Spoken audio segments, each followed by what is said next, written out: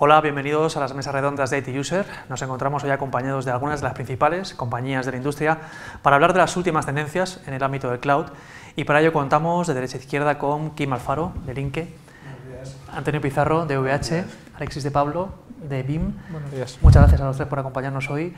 Y si os parece, rápidamente, luego ya entraremos un poquito en materia, pero me gustaría que me contarais, me dierais dos pinceladas de cuáles entendéis que están siendo las, las principales tendencias a destacar en lo que va de año en el ámbito del cloud. ¿Qué es lo que rápidamente me podéis contar que os están demandando más eh, vuestros clientes a, a día de hoy? Si quieres, Alexis. Sí, bueno, eh, en general eh, mucho, mucha tendencia a la apertura, es decir, a flexibilizar servicio. El, el ámbito o la demanda va en múltiples líneas. Quizás en el, en el, tiempo muy cercano iba muy orientado sobre todo pues, a dejar eh, copias, segundas copias o digamos datos irrelevantes o datos fríos dentro del cloud. Sin embargo, hoy día quizás hay más demanda y más interés en pues, adoptar la, la tecnología de cloud para proveer servicios para dar servicio a clientes, incluso para manejar ya lo que es eh, la propia infraestructura directamente, pasando de un modelo de CAPEX a, o de CAPEX a OPEX eh, de forma muy directa. Sí, bueno, de, desde el punto de vista, al final eh, las empresas están entrando en el cloud y, y están entrando en, en diversos tipos de cloud. Diríamos que multicloud está ahora mismo muy de moda y dentro de, de, las palabras de moda yo creo que es Kubernetes. Eh, este es el año, sin duda. Y, y, un ejemplo de ello, la semana pasada estuvimos en, en, uno de los eventos que vamos habitualmente y además se nota mucho porque hay eventos donde mm, acude más gente y hay eventos bueno, donde están un poco más flojos. ¿no? En este caso concreto, el, el tema del día era cómo montar un Kubernetes en producción, porque obviamente en la fase de desarrollo ya hay mucho administrador de sistemas que ya ha cacharreado con Minikube y con alguna otra tecnología, pero a la hora de producción como que llamaba mucho la atención. Y el, el dato y el ejemplo era que si la sala cabían 100 personas, acudieron casi 200, o imaginaos todos de pie. Entonces, eso deja muy claro cuál es la tendencia y cuál es lo que le importa a la gente. Entonces, yo, por lo menos desde nuestro punto de vista, le hemos visto que sin duda este es el año. Kim.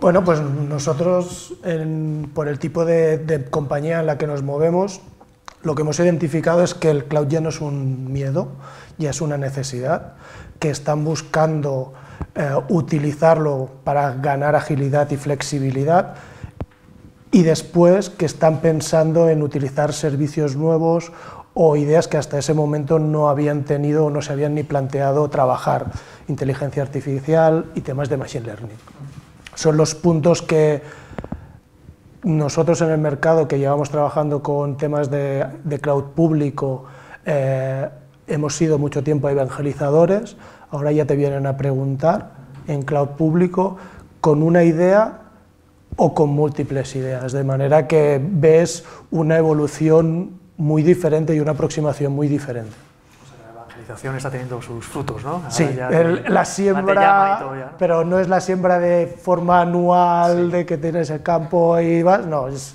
a más largo plazo y en este país ahora se está notando la, el cambio.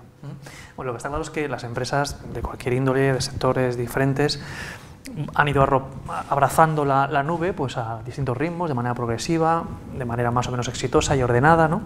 pero sí que por lo menos nos cuentan que, que, que ya hay eh, soluciones de, de, misión crítica que empiezan a estar ahí arriba, ¿no? Eh, RPs, eh, bases de datos. ¿Esto es una realidad? ¿O todavía queda camino para que las compañías realmente confíen en que pueden poner ahí arriba lo más preciado que tienen dentro de, de sus empresas. ¿Cómo lo veis?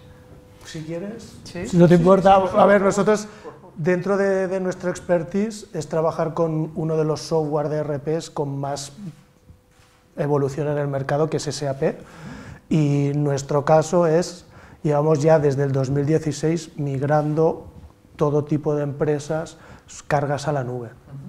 Y entonces ahí ya ves que confían, ves que Mm, el miedo inicial a poder tener ese tipo de datos, esa información, esos sistemas, ya ha desaparecido.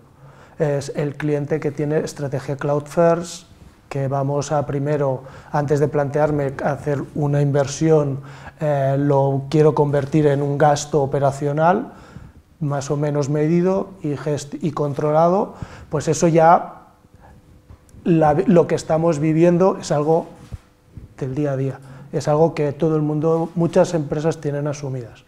Y con esa experiencia de tres años, eh, ¿podrías identificar un perfil de, empresa, grandes, medianas, de algunos verticales, que, entiendas que, eh, que, están apostando más por esa tendencia o, es de una manera más generalizada? Como va, la parte que nosotros hemos, nos hemos posicionado en el mercado es en el mundo SAP, es muy cross, pero sí que te puedo decir que sector utilities, y sector hospitality, hoteles y tal, pues es una de las que pues a lo mejor porque hemos tenido las primeras referencias a nivel nacional, pues son las que se nos están acercando a día de hoy para mover, pero tenemos de, múltiples, múltiples verticales, manufacturing, pharma, no es, no es un, un motivo el vertical, sino más la solución, Mundo SAP, que ya no lo ven como, como una barrera, sino que les da ventajas. Muy bien. Sí, bueno, lo que cuando se habla de aplicaciones críticas eh, tenías un poco en la cabeza legacy, ¿no? Eh, si vamos a hablar de nuevos proyectos, lo crítico o no crítico está en el punto de vista de la empresa a la hora de, de, montarlo, ¿no? Y lo que sí que vemos es que, que, diríamos, te iba a decir todo, pero te diría el 90% por lo menos de nuevos proyectos ya se implantan en nube y son críticos. ¿no?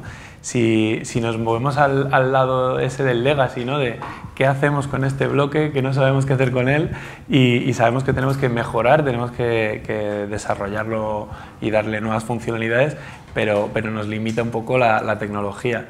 Pues ahí yo, desde nuestro punto de vista, es ayudarles a, dar ese paso de una forma sencilla. Una de ellas a lo mejor es a través de partners y otra es eh, a través de tecnologías que hagan que, los procesos de migración, primero, no sean muy dolorosos y luego además que, esos procesos de migración no tengan parada o por lo menos que tengan el menor, el menor tiempo de parada posible.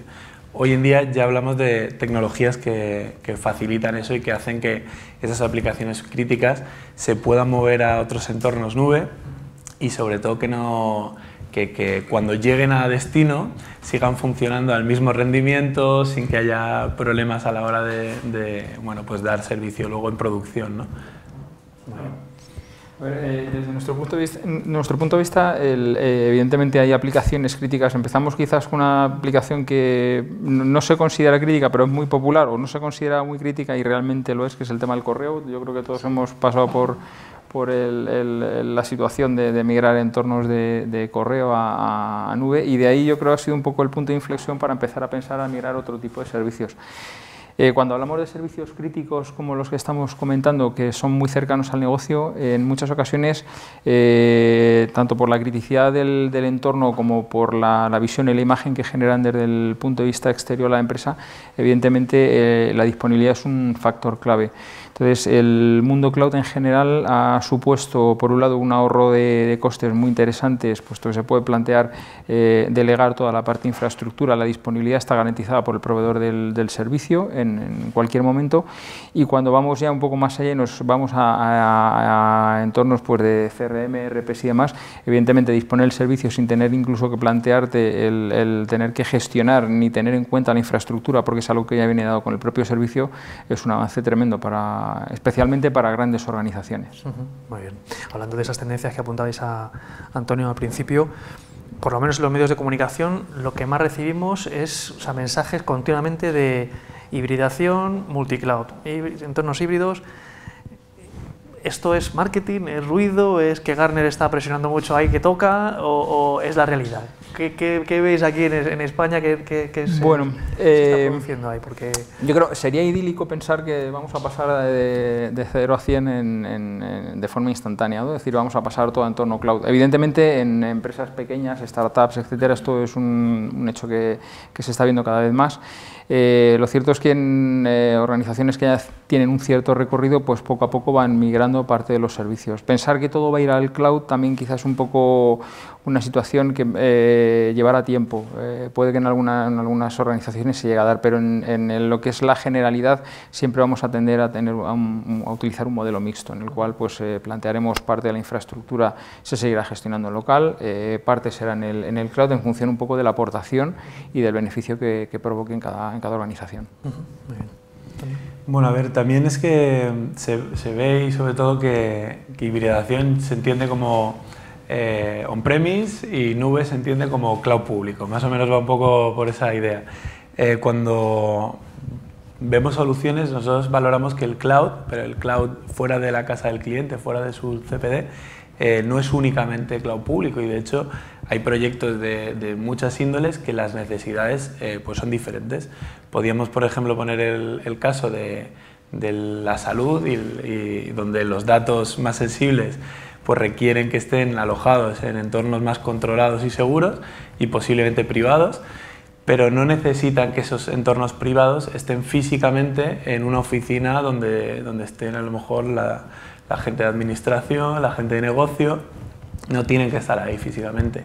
Entonces, eh, soluciones como Private Cloud, que, ahora mismo las empresas enterprise están trabajando muy habitualmente porque les dan esos beneficios y también sobre todo porque eh, hay un concepto que a lo mejor pensamos también en esos cloud privados como entornos muy modo bloque, donde la escalabilidad y la flexibilidad es muy limitada y que cuando quieres escalar tiene que ser a la hora de volver a invertir, volver a, a, comprar. ¿no? Pues ahora mismo eh, soluciones tipo Hosted Private Cloud, que es lo mismo pero en nube, lo que te facilita por medio de la automatización es que tú puedas desplegar nodos eh, de cómputo y de, y de espacio de almacenamiento en tiempo real. Entonces tú puedas decir, oye, ahora quiero mi cloud privado tamaño pequeño para una operativa de, bueno, pues una campaña de publicidad o, momentos picos en el negocio, puedo duplicar o, multiplicar 10 veces ese entorno reservado y luego reducirlo otra vez. Entonces, bueno, pues hablamos de que hay muchos escenarios que a lo mejor no se valoran y, que encajan ¿no? perfectamente.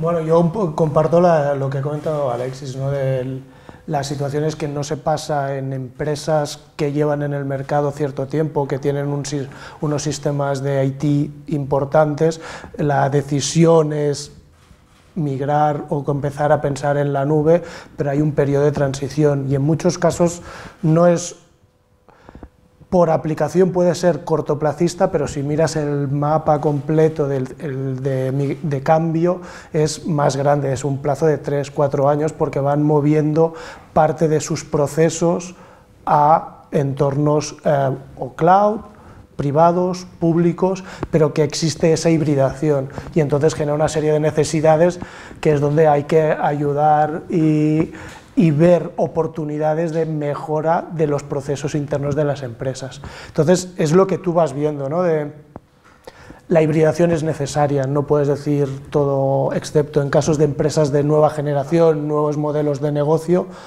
que no tiene mucho sentido a lo mejor empezar a pensar en híbrido, es pieza ya en algo que te dé flexibilidad, que te dé servicios, que te dé capacidad. ¿Sabes? Que dependiendo de en el sector en el que te muevas, si es nueva, pues lo que tienen más tendencia es todo puro servicios, prueba-error, que es lo que te permiten los clouds. De ahora pruebo esto, no me funciona, lo tiro. ¿Qué me ha costado? Lo que he utilizado. Mientras que en escenarios más clásicos, pues ya hay una inversión hecha, hay un peso al que decide de esto no sirve, voy a empezar de cero que la organización tiene que valorar y si es pasar a la nueva nube dices, ostras, y los que han venido antes o tú mismo que en su momento dijiste gastémonos este dinero en esta parte, bueno, ahí también hay, hay temas históricos que, que hay decisiones que no, no, facilitan ese cambio. Sobre todo yo lo que veo es que es muy complicado eh, hacer una previsión, ¿no? de decir, este producto, esta aplicación que estamos desarrollando o simplemente el, core de negocio de mi empresa va a llevar esta línea durante tres años o durante cinco años. Hoy en día sabemos que ni, no sabemos ni cómo va a ir la tecnología tres o cinco años. Podemos preverla o podemos tener una cierta idea, pero claro, cuando haces un coste, un gasto, una inversión fuerte, pues tienes por lo menos que acogerte a, a, unas ciertas garantías.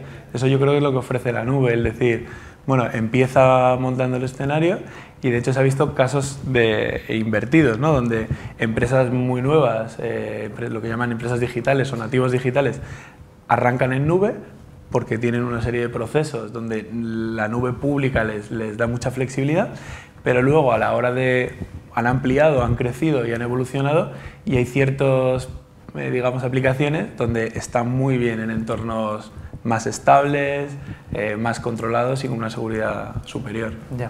¿Entendéis que hay aplicaciones que nunca, en términos generales, se van a subir a la nube? Siempre hay con oyes en, cualquier foro que, que, bueno que hay empresas que no van sabes que no van a llevarlo todo a la nube en un futuro porque siempre quedará algo más allá de estas aplicaciones críticas de las que hablamos entendéis que hay aplicaciones más tipo que, que siempre quedarán ahí en, en la casa del cliente o sobre todo de, estas empresas evidentemente que de toda la vida que llevan tiempo y no de nuevo cuño yo creo que en general, eh, por lo que estamos viendo en BIM, eh, cualquier aplicación es susceptible de subirse al cloud. De hecho, hoy día, por ejemplo, hablamos de entornos multicloud y el tema multicloud, a veces eh, la demanda que tenemos por parte del usuario no es subir un servicio a la nube, hacer uso de la infraestructura de un nube o cualquier, sino simplemente tener un centro de respaldo que, puede ser utilizado en cualquier momento. Con lo cual ya, ya estamos de, de facto subiendo el dato a la nube y estamos migrando a la aplicación. En caso de un desastre, estamos pensando que el cloud va a ser nuestra nuestro respaldo.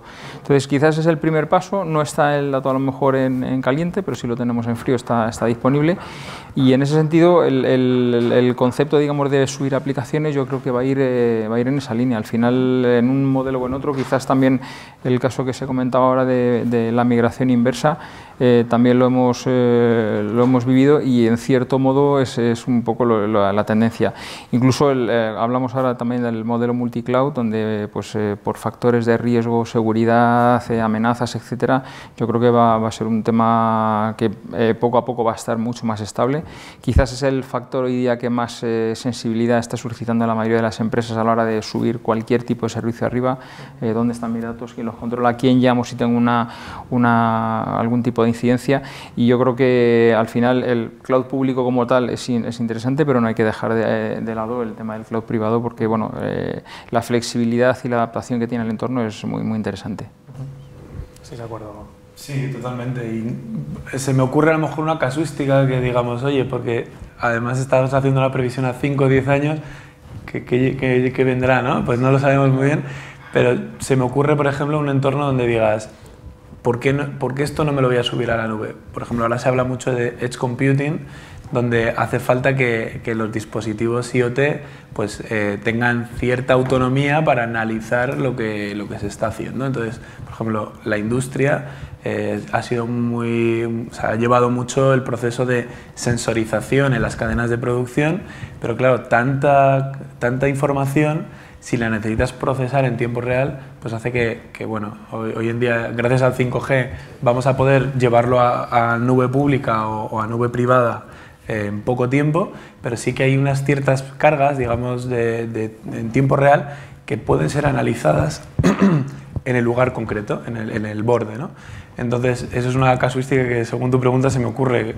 Quizá a lo mejor eh, sí que ese tipo de, de situaciones pues, pues permitan que la parte tiempo real se haga al borde y eh, las métricas, digamos, más de consolidación, donde los volúmenes de datos son muchísimo mayores, se haga en nube porque obviamente es más económico y, puedes eh, hacer un cálculo en, instantes de, un volumen enorme y luego pues dejas de usar el servicio y, entonces merece la pena. Eh, ¿Podemos especificar qué escenarios son más propios y típicos de de nube privada, nube pública, de entornos híbridos, ¿eso se puede generalizar o, por la experiencia que estáis encontrando o no? ¿O eso depende de cada, de cada tipo de eh, empresa? Es más por organización que no realmente por tendencia. Necesidades, retos, oportunidades, expansión, de cómo va a desarrollar la empresa eh, su parte de tecnología es lo que hace que se mueva o valore una de, las, una de las opciones. Relacionado con lo que estabais comentando, al final, por ejemplo, lo que sí que te encuentras es gente de producción, manufacturing, que tiene líneas de montaje que el computing en Edge es lo que necesitan. Incluso grandes, ahora mismo hay eh, proveedores de cloud pública que están ofreciendo ya un servidor que gestiona en ellos, pero que tú lo pones en tu CPD, de manera que es una necesidad que el mercado está reclamando. ¿Por qué? Pues porque aunque las comunicaciones son muy potentes, sí que realmente la posibilidad de corte existe, el punto de fallo, en dependiendo de qué industria es grande, entonces, ¿cómo evitarlo? Pues con temas internos.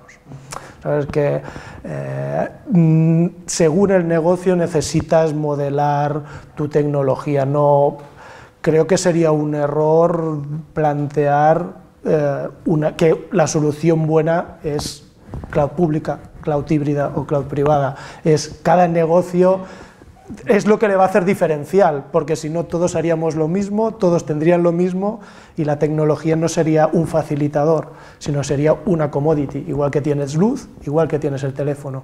Entonces la, tecnología se tiene que ver como un facilitador para tus procesos sean más rápidos, te den unas métricas mucho más, más, más precisas y, eh, y con mayor velocidad pero entonces eso eh, es tu diferencial, es lo que tú vas a desarrollar para ser diferente en el mercado. Sí, mira, por, por centrar y a lo mejor encontrar un ejemplo, eh, un proyecto, y, viene muy en relación con lo que acabas de decir, eh, si, si, es la empresa la que realmente va a poner los requisitos y eso le va a hacer ir a una tecnología o ir a otra. Muchas veces también pasa que es la tecnología que uno conozca. Eh, si mi equipo conoce eh, pues una tecnología abierta eh, basada en, OpenStack o en, una tecnología que digamos que es estándar, podrá estar ubicada en muchos diferentes centros de datos. Si me voy a una tecnología propietaria, pues obviamente el vendor locking ¿no? aparece ahí y, luego es muy complicado decidirme a otro proveedor porque eso me está cerrando. ¿no? Entonces, el ejemplo, por ejemplo, es un proyecto muy bonito, un proyecto internacional que, bueno, pues, eh, es una agencia de seguros que lo que, lo que hace es que, bueno, control eh, a través de pulseras, móviles, etc., para eh, saber la salud de, sus usuarios. Entonces, si tienes muy buena salud, pues te darán unas cuotas más bajas y te darán una, una serie de, de, beneficios. ¿no? ¿Qué ocurre? Que este, esta aplicación, al ser global, pues no encaja igual en la política de cada uno de los países donde están los usuarios. Entonces, si nos vamos, por ejemplo, a un entorno eh, en Francia, pues la restricción a la hora de controlar los datos de, los eh, ciudadanos franceses pues es muy restrictiva. Entonces, ellos en ese aspecto utilizaron un private cloud con una certificación por encima que la llaman HDS, que es la Healthcare, que lo que hace es que bueno, pues garantiza una serie de, de cosas pero luego, por ejemplo, ese, producto y esa aplicación en Asia o en Estados Unidos funcionaba en cloud pública porque las restricciones legales eran otras. Entonces, mira qué curioso que puedas decir, este tipo de aplicación, todo el mundo pensaría, private cloud. Bueno, pues depende un poco y habría que analizar cada caso nosotros lo que estamos viendo es que hay eh, cada vez más organizaciones, sobre todo grandes, que además el cloud lo, interpretan no solamente como el cloud público, como comentábamos antes, sino también el, cloud interno, es decir, el servicio dentro del de la propia organización utilizando recursos propios o a veces del cloud eh, público. Es decir, que, el, modelo aquí es suficientemente flexible como para que se pueda, digamos, eh, interpretar en cada organización de una forma, de una forma diferente. Y aquí, bueno, pues eh, en, ese sentido quizás el, punto donde, donde yo creo que más están agradeciendo los usuarios el planteamiento de cloud es la, flexibilidad. Ya no estamos en un cloud, digamos, en una fase primaria donde el servicio era muy rígido, sino que tenemos multitud de opciones y, a la hora de, plantear pues, eh, riesgos, seguridad, eh, trazabilidad de los datos, etcétera, aplicaciones, yo creo que es un, factor importante, con lo cual cualquier modelo es perfectamente asumible por cualquier organización. Antonio, apuntabas al principio la tendencia de los Kubernetes, del despliegue de servicios. ¿Qué estáis encontrando ahí? ¿Cómo, ¿Por qué está teniendo tanto...?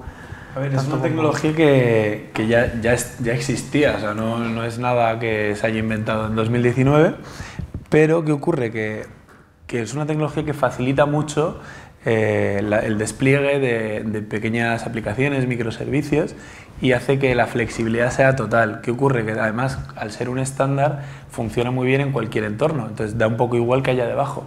Entornos on-premise, eh, entornos en diferentes nubes de clientes y eso facilita mucho la interoperabilidad y por lo tanto el multicloud. Entonces, ¿qué ocurre? Que se lleva trabajando mucho en ello, pero lo que se veía es que el producto que está muy, muy pensado para desarrolladores, funciona y gusta y, se despliega muy rápido, pero montar el entorno, la plataforma y que esa plataforma sea segura y estable es muy complejo. Entonces, cuando las grandes enterprise se han puesto a ello y se han puesto a trabajar, se han, visto, pues digamos, ciertos retos que, bueno, que, se los han encontrado. ¿no? Entonces, ¿qué pasa? Que lleva esa tecnología mucho tiempo y está muy en boca de todos, pero no deja de salir de la zona de desarrollo. Entonces, ¿qué, ha ocurrido este año 2019? Pues que en grandes empresas, donde en, nuestro caso igual hemos visto esa necesidad y, esos laboratorios que no llegaban, eh, bueno, este producto por ejemplo se llamaba el, el Minikube, ¿no? que es el, como un Kubernetes que te lo puedes montar incluso en tu, en tu portátil. ¿no? Dices, ay, mira qué bien, he montado contenedores, ya sé cómo funciona. Y dices, vale, y ahora entorno productivo entonces, en esa parte operativa lo que, lo que nos hemos encontrado es que la gestión operativa se hacía muy compleja para grandes empresas. Entonces, nosotros y dos o tres grandes empresas también estadounidenses, lo que han definido es vamos a hacer un servicio que gestione esa parte operativa para brindarle a los desarrolladores una forma muy sencilla de desplegar servicios. Y eso lo que ha hecho es, pues bueno, ha generado mucho hype y, el ejemplo que te ponía al principio, nosotros esperábamos en una sala, además hay una, una sala auditorio en este, en este evento que suelen ser para 400, 500 personas, donde a lo mejor es difícil llenarla y por eso mismo la gente no, suele elegirla, ¿no? Entonces eh, nos posicionamos en una sala de 100 y es que había cola, que además eso es muy... Cuando ves cola es como muy la imagen de Apple cada vez que saca el iPhone, ¿no? pues en este caso era muy similar donde, donde genera el, uy, ¿qué está pasando aquí ¿no? con, con, esto de Kubernetes? Y bueno, pues vemos que además en los debates cada vez se habla más y ya es casi la pregunta que hay que poner, ¿no? Entonces, bueno, yo creo que este va a ser el, el año, sin duda. Bueno, el tema de la seguridad, por supuesto, es fundamental, puede ser un, acicate para el crecimiento, pero también a veces un stopper para los proyectos. Eh, no sé si os lo estáis eh, encontrando así en, proyectos cloud. Sobre todo me gustaría que, que, me comentarais en cada una de vuestras compañías cómo estáis afrontando el tema de, de, la protección de entornos cloud, qué problemáticas os encontráis en el cliente, qué situaciones habéis, habéis visto. Contadme un poquito más a fondo. Bueno, nosotros, eh, la mayoría de los clientes han empezado enseguida a derivar datos hacia el cloud por temas de protección o articular de este recovery quizás el factor de seguridad era uno de los principales eh, elementos que se valoran eh, en, los, primeros pasos de, la evolución. Luego, eh, posteriormente, lo que nos estamos encontrando es que bueno, cuando ya hay una cierta confianza, estamos en un entorno muy cambiante, las, normativas cambian. Hemos entrado a, bueno, no es reciente, pero ya, ya quizás tenemos mucha más conciencia, temas de GDPR y demás, donde pues, el dato que tenemos salvaguardado que hemos copiado a lo mejor meses o años atrás eh, no es hoy día GDPR compliance, tiene, necesita algún tipo de proceso, etcétera. Entonces eh, aquí hemos eh, digamos articulado los mecanismos necesarios para que cuando se haga una restauración de un dato, se ponga en marcha un funcionamiento ese, ese dato pueda ser compliance. En esta misma línea además hemos también articulado también mecanismos para poder proteger el, cualquier tipo de amenaza que pudiera residir o que esté de forma latente en las copias eh, antiguas. Eh, sabemos que cada vez más todas las amenazas, virus y demás han cambiado sus modos de, trabajo, eh, entran dentro de las organizaciones, están en modo latente durante un tiempo y a, raíz de un mecanismo, un tiempo, una acción, se activan de nuevo.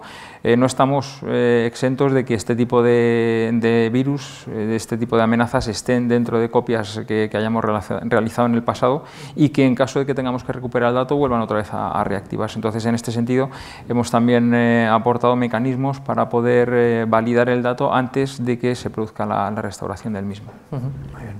Antonio, ¿cómo lo veis en VH? Sí, bueno, el punto de, el punto de vista lógico, punto de vista físico, donde desde Industria Cloud eh, se ve claramente que, un centro de datos pues, tiene una seguridad perimetral, cámaras de vigilancia, eh, bueno, personal cualificado que, vigila a nivel físico. Luego hay una parte eh, bueno, digamos, lógica de los datos donde hay firewalls, donde hay routers, donde hay un, control sobre todo ese tipo de plataformas.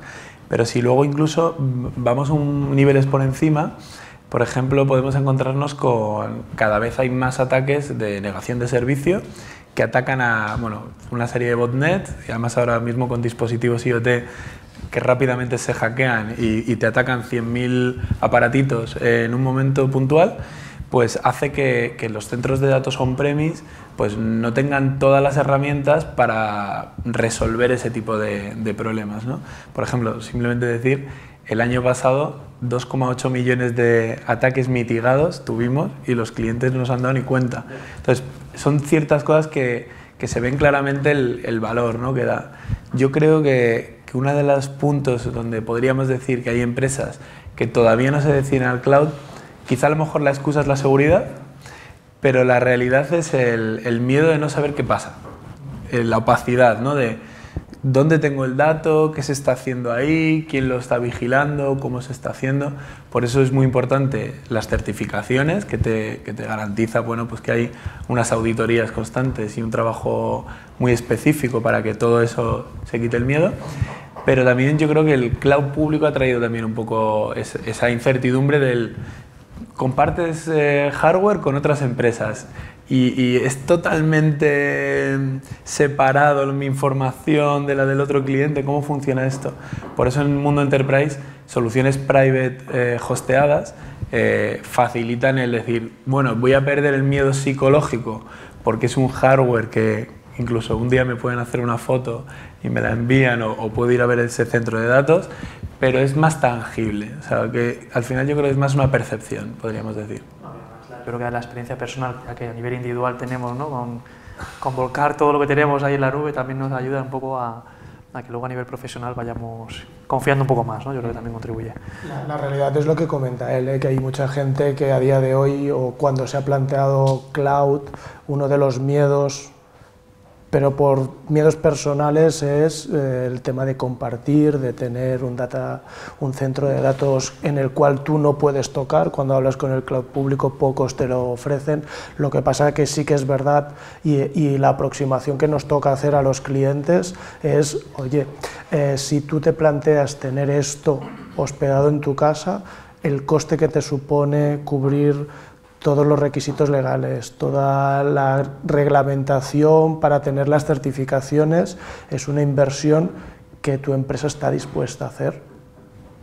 Con ese tipo de mensajes es donde ya empiezas a ganártelos.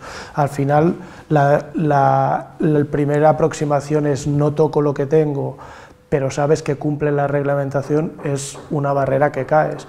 Y después, toda la parte lógica eh, el hecho de subir a la nube pública a veces hace pensar en cosas que cuando lo tienen en on-premise no lo están pensando. Nosotros hemos tenido casos de migrar una aplicación legacy de un cliente, lo mueven a la nube y como está en la nube, como está en la nube pública, hacemos un penetration test. Penetration test que no da ningún problema de acceso de fuera. Todo funciona correctamente, pero da una vulnerabilidad a nivel de aplicación entonces tu discusión empieza a ser, este es lo mismo que tienes, porque no he tocado nada, es tu legacy, tal como está, lo muevo a la nube. Y ahora te preocupa esta vulnerabilidad, ¿por qué? El resto, toda la parte perimetral, toda la parte lógica, está mejor que la que tenías antes, porque te cubren tanto las certificaciones del proveedor como el setup o lo que hemos configurado. Entonces, hace que tengas unas discusiones mm, diferentes, pero que son retadoras. ¿Por qué? Porque muchas veces eh, nos encontramos que gente de quien impulsa migrar a un cloud es el equipo de infraestructuras, porque ve que van a dar valor a la organización. Ya no me tengo que dedicar de mantener el rack, de mantener el sistema operativo, de pelearme por las licencias de, del firmware, toda esa burocracia que lleva a mantener un hardware y dicen no metamos al de seguridad hasta el último momento. ¿Por qué? Porque yo quiero ayudar a la empresa a ser más rápido, no ser el que te diga, oye, voy a tardar dos meses porque tengo que montarlo todo. No, lo tienes pasado mañana con los estándares que tenemos en la casa. Entonces, la discusión o el trato con el de seguridad ha de ir por otro lado, es enseñarle cómo se configura, explicar bien qué estás habilitando y qué estás exponiendo a Internet. Tú puedes trabajar con un cloud en una plataforma pública y realmente solo tu gente accede a él. No tienes nada expuesto a Internet, que es una de tus fuentes de problemas, de ataques. Entonces, si sabes ponerlo en valor y ponerlo, como decíamos antes, desde el minuto uno en la mesa, eso te facilita mucho el camino a la nube. Sí, que está comentando hablando de los departamentos de seguridad, de infraestructura, hablamos de enterprise, pero ¿qué sucede con el 95% del tejido empresarial español? Es decir, la pequeña empresa, eh, Cloud en teoría ha venido para democratizar el uso de la tecnología. ¿no?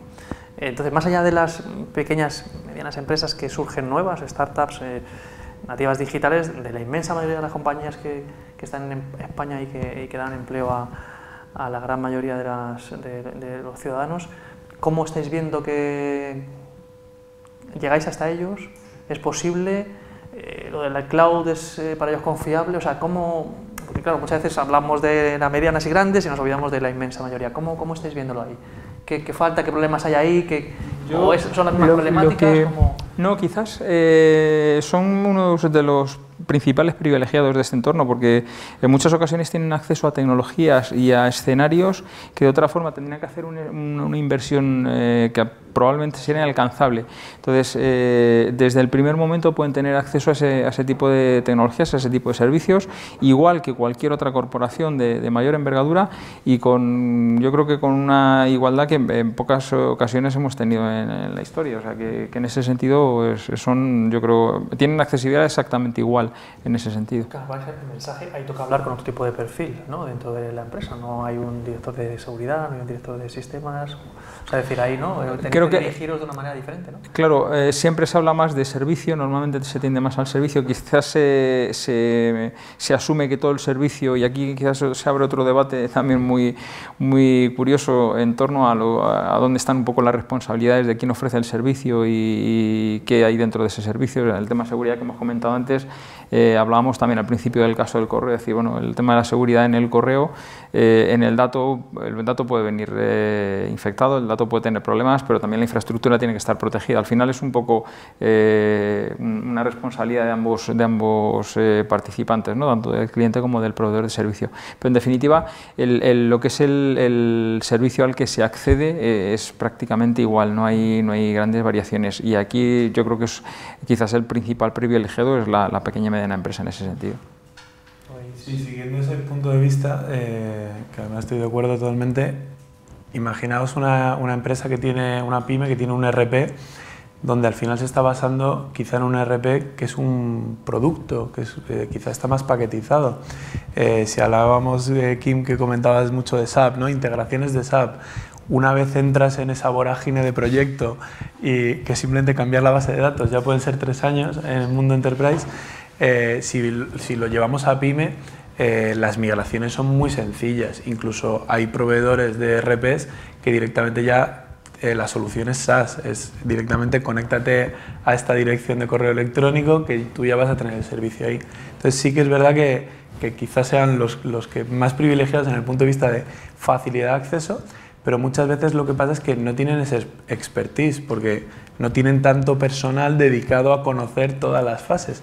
Por lo tanto, yo creo que es muy importante apoyarse en buenos partners que, les den un poco la perspectiva hacia dónde pueden moverse y, confiar en ellos. Y luego, sobre todo, lo que es importante también es que intenten, eh, cuando elijan un proveedor cloud, no atarse a, a una tecnología de ese partner, imagínate, si luego deciden irse, que tengan que saber que va a ser fácil de migrar, que no va a tener eh, unas penalizaciones a la hora de contratar los servicios, que puedan predecir los costes, porque eso es una de las cosas que además la pyme, que está muy sujeta a, bueno, pues a analizar muy bien los costes, el que vayas a saber que sí, eh, el día 1 de enero voy a pagar X, pero en junio no quiero llevarme la sorpresa y hacer una factura 10 veces más porque a lo mejor haya un, coste que es el tráfico, que suele ser el, famoso coste oculto, ¿no? que, hace que no sepamos eh, si va a multiplicar por 5, por 10 o por 20. Entonces, nosotros lo que abogamos es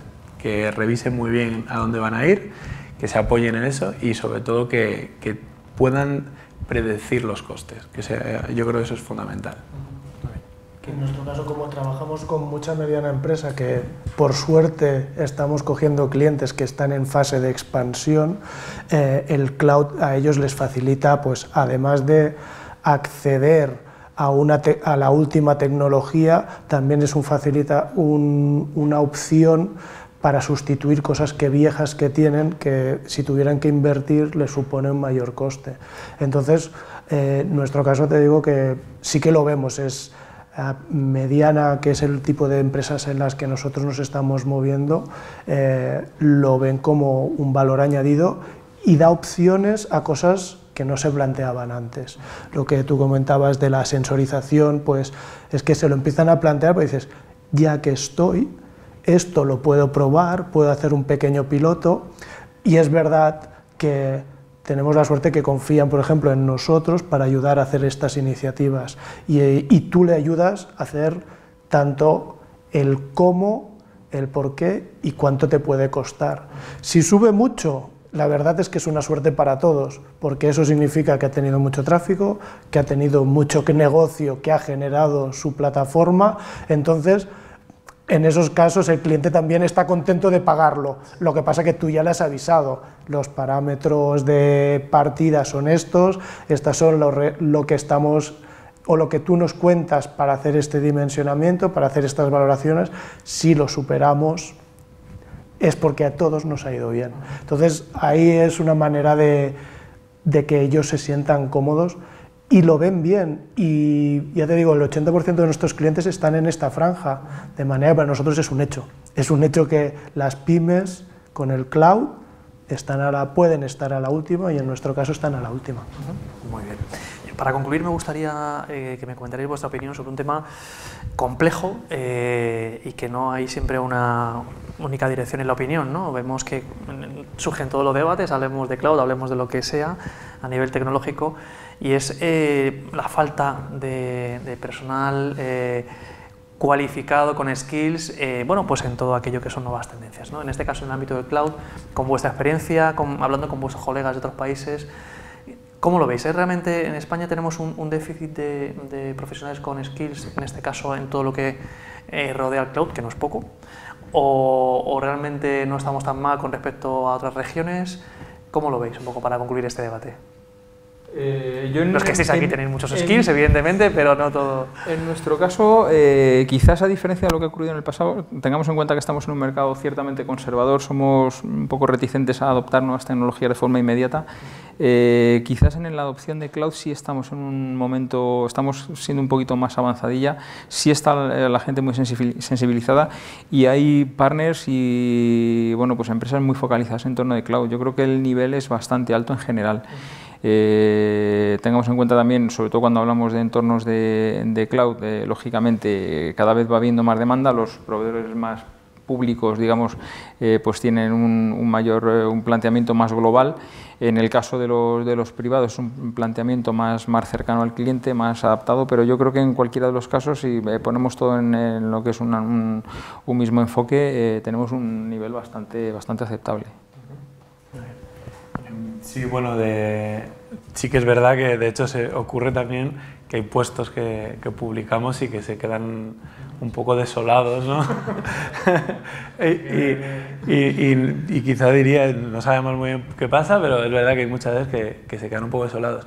Pero no es una cosa que, por lo menos desde nuestro punto de vista, que veamos que ocurre en España, sino a nivel global estamos viendo que cada vez eh, necesitamos eh, gente con unas habilidades concretas que a lo mejor a los seis meses que tienen que ser otras.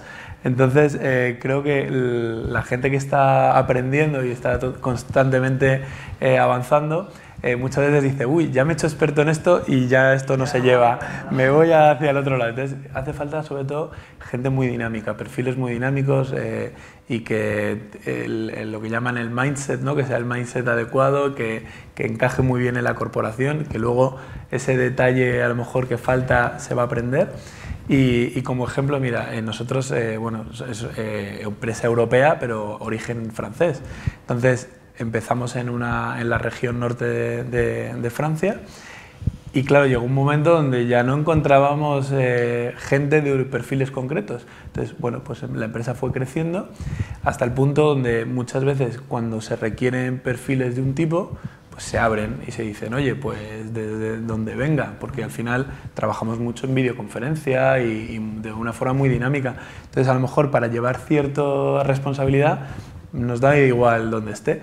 Y como caso concreto, para darle un poco, romper una lanza por, por los eh, profesionales españoles, el, el último product manager que teníamos para la parte private a nivel global eh, era un perfil que estaba en Estados Unidos, se abrió la plaza una vez se necesitó y, se acaba de incorporar una persona española para llevarlo a nivel global. O sea que perfiles y, skills sobran, pero hay que encontrarlos, que muchas veces es la, parte que nos falta. Muy bien.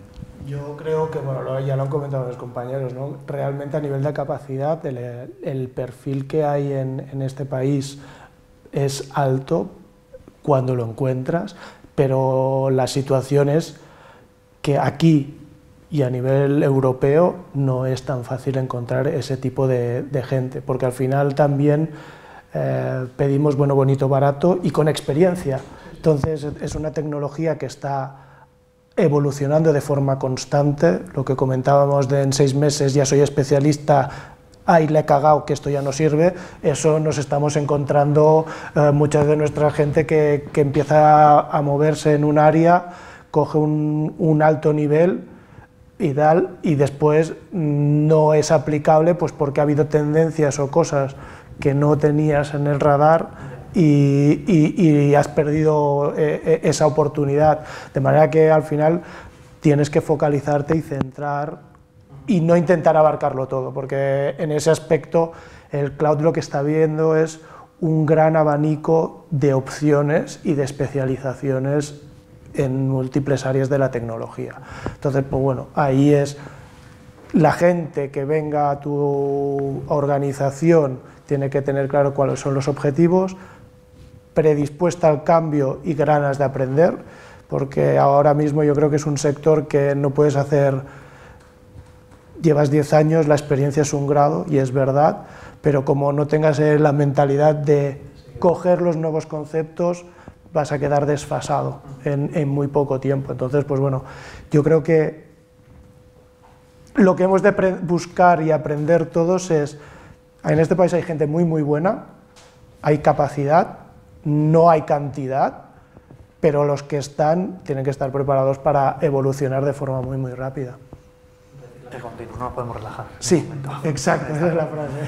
Pues muchas gracias a los tres por vuestro tiempo, ha sido un placer. Y, y nada, gracias a ustedes por seguirnos.